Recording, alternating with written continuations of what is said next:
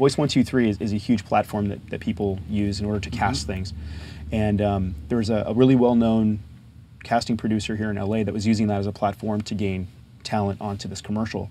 I submitted my previous demo that I had uh, before working with you, and they have a ranking system. It's like a, a one through four star thing. One star is like you suck, right? Um, two stars is kind of like, hey, maybe three stars. Hey, you're pretty good. You're shortlisted. Four is like you got this, right? And uh, I, I embarrassingly got like 98 out of 100, like horrible, and one star. I was like, wow, shot in the arm. So now, fast forward a few months later, I took the demo that, that you and I had produced. I put yours up, four star, ranked one out of 150, got the job. Wow. so I got shortlisted, about. and then there it is. So, Yeah.